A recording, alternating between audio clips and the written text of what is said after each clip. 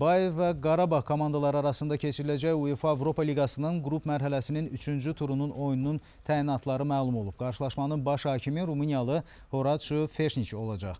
Ona laismanlar qismində həmvətənləri kömək edəcəklər. Oktyabrın 26-sında Liverkuzunda keçiriləcək görüş saat 23-də başlayacaq.